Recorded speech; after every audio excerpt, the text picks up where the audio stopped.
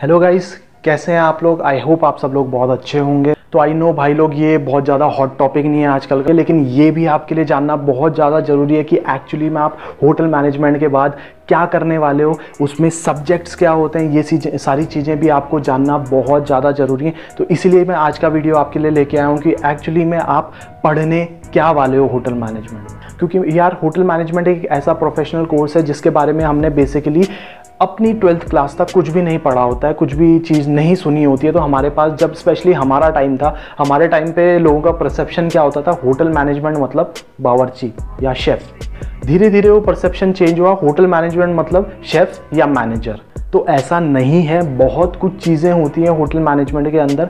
फ़िलहाल मैं आज बताऊँगा आपको चार मेजर डिपार्टमेंट्स के बारे में, जो आपके होते हैं चार मेजर सब्जेक्ट्स। तो आज के वीडियो में केवल मैं ये सिर्फ़ एज अ सब्जेक्ट ही नहीं बताऊँगा, बल्कि ये भी बताऊँगा कि एज अ डिपार्टमेंट ये क्या काम करते हैं और साथ ही साथ एज अ सब्जेक्ट आपको इसमें पढ़ना क्या होता है। फिर चाहे आप डिप्लोमा कर रहे हो B H M in hotel management कर रहे हो B S C in hotel management कर रहे हो B B A in hotel management कर रहे हो, कुछ भी कर रहे हो एक्सक्लूडिंग स्पेशलाइज डिप्लोमा तो वहाँ पे आपको ये सारे जितने भी कोर्सेज होते हैं इन सब में आपको चार मेजर डिपार्टमेंट्स के चार सब्जेक्ट्स पढ़ने ही पड़ेंगे। तो आज उनके बारे में ही मैं आ, आपको बताने वाला हूँ।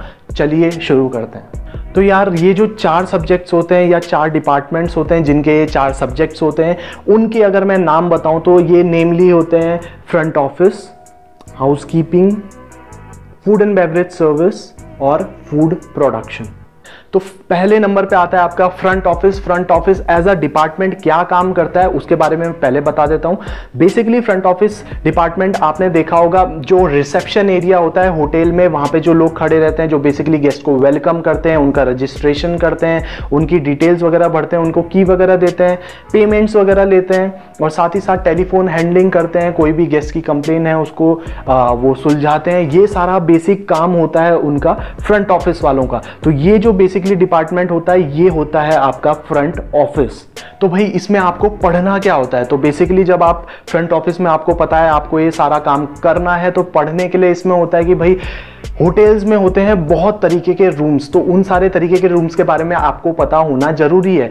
कोई सिंगल रूम है, कोई डबल रूम है, कोई किंग साइज़ बेड वाला रूम है, कोई कबाना रूम है, कोई ड्यूप्लेक्स रूम है तो ये सारी चीज़ें आपको पढ़ाई जाती हैं कि अलग अलग तरीके के रूम्स को किस नाम से जानते हैं और वो होते क्या हैं। तो ये सारा आपको पढ़ने को मिलेगा। साथ ही साथ आपको पढ़ाया जाता है कि भैया गेस्ट हैंडलिंग कैसे करना है, आपको जब चेक इन का प्रोसेस कैसे होता है, जिस समय में गेस्ट आ रहा है, आपका उसका प्रोसेस क्या होगा। एक स्टैंडर्ड ऑपरेटिंग प्रोसीजर होता है। तो ये जो एसओपी शब्द है ना, जो अभी मैंने बोला स्टैंडर्ड ऑपरेटिंग प्रोसीजर एसओपी ये आपको बहुत ज़्यादा सुनने को मिलेगा आगे, क्योंकि इसका मतलब होता है एक काम करने का प्रॉपर तरीका। वो चीज़ें आपको सिखाई जाएँगी, जो कि हर होटल में थोड़ी अलग हो सकती हैं बट बेसिक जो होता है, वो एक जैसा ही होता है।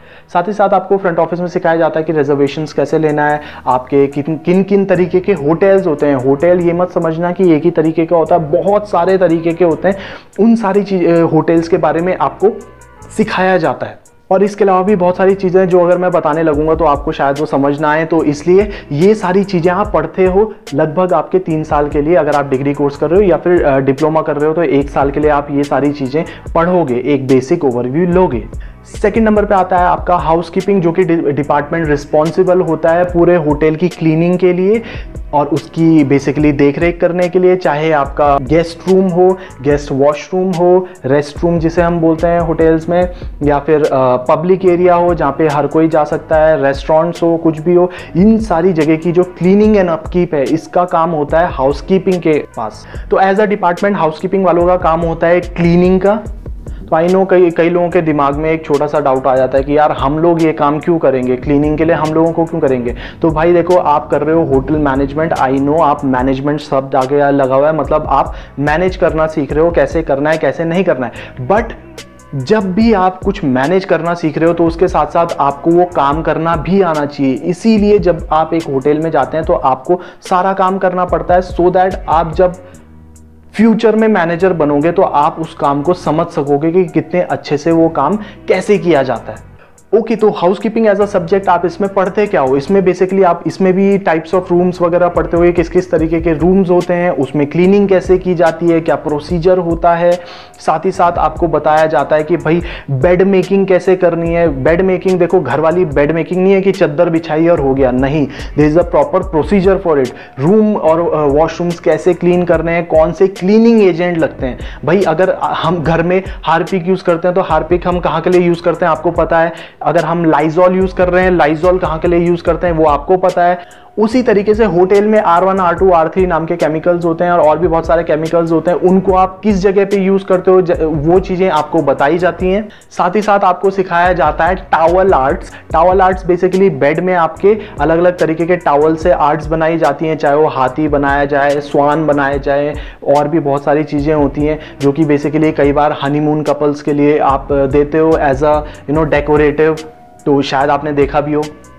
नहीं, आपने कैसे देखा होगा? खैर तो ये सारी चीज़ें आपको सिखाई जाती हैं हाउस कीपिंग में एज अ सब्जेक्ट इसके बाद चलते हैं हम थर्ड नंबर के सब्जेक्ट में, जो कि है आपका फ़ूड एंड बेवरेज सर्विस तो यार, इस डिपार्टमेंट के बारे में इसके नाम में ही है, जैसे कि फ़ूड मतलब खाना एंड बेवरेज बेवरेज मतलब कुछ भी पीने की चीज़ें। तो उसकी जो आप सर्विस करते हो, उस डिपार्टमेंट को बोलते हैं food and beverage service food and beverage service department as a department इनका काम होता है रेस्टोरेंट्स की टेक केयर करना बार की टेक केयर करना कैफेज वगैरह, ये सारे जितने भी इसमें एम्प्लॉयज़ आपको दिख जाते हैं, ये सारे आपके फ़ूड एंड बेवरेज सर्विस के अंडर आते हैं। तो एज अ सब्जेक्ट आप इसमें क्या पढ़ते हो? बेसिकली इसमें एज अ सब्जेक्ट आप बहुत सारी चीज़ें पढ़ने वाले हो और फॉर दैट मैटर हर सब्जेक्ट में आप बहुत सारी चीज़ें पढ़ते हो।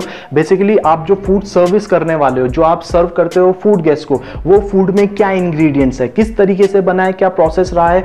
और उसको किस तरीके से बनाया गया है? ये सारी चीज़ें आपको पढ़ाई जाती हैं। और साथ ही साथ इसमें आपको और भी बहुत सारी चीज़ें पढ़ाई जाती हैं, जैसे कि टाइप्स ऑफ़ मेन्यू आपको रेस्टोरेंट तो पता होगा कैफ़े तो पता होगा, लेकिन इनके भी बहुत सारे टाइप्स होते हैं। वो सारी टाइप्स आपको बताए जाते हैं।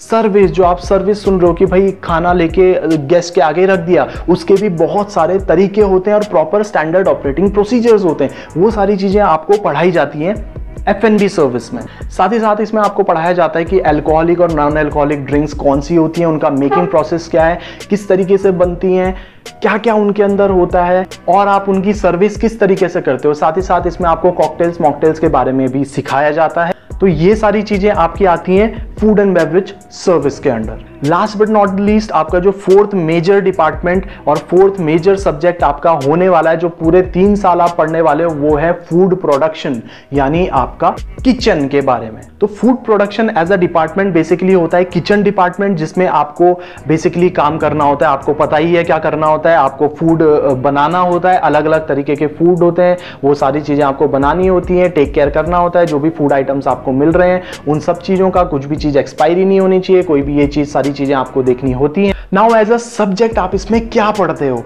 तो एज अ सब्जेक्ट बेसिकली आपको इसमें पढ़ाया जाएगा शुरुआत में कि भैया टाइप्स ऑफ़ कट्स क्या होते हैं जूलियन मियर पुआ डाइस कट वो आपको करना भी सिखाया जाएगा प्रैक्टिकल में। साथ ही साथ आपको सिखाया जाएगा कि टाइप्स ऑफ़ कुकिंग्स क्या होती हैं। तो भैया कुकिंग का मतलब दाल चावल बना देना ही नहीं होता है या फिर सब्ज़ी रोटी बना देना ही नहीं होता है। There are hell lot of cooking method जो कि आपको सीखने पड़ेंगे, सबसे पहले आपको समझने पड़ेंगे, वही आपको इसमें समझाया जाता है और साथ ही साथ आपको प्रैक्टिकली करवाया भी जाता है। साथ ही साथ आपको सूप्स बनाने सिखाए जाएँगे सैलड्स मेन कोर्सेज कौन सा किसके साथ कौन सा कॉन्टिनेंटल मेन्यू है कौन सा इंडियन मेन्यू है इंडियन uh, मेन्यू क्या होता है कॉन्टिनेंटल मेन्यू क्या होता है ओरिएंटल um, मेन्यू क्या होता है चाइनीज़ uh, मेन्यू क्या होता है ये सारी चीज़ें आपको बताई जाएँगी ये सारी चीज़ें सिखाई जाएँगी। उनके इंग्रेडिएंट्स क्या होते हैं उन सब की पहचान करना आपको सिखाया जाएगा। तो ये सारी चीज़ें आपको सिखाई जाती हैं फ़ूड प्रोडक्शन के सब्जेक्ट में।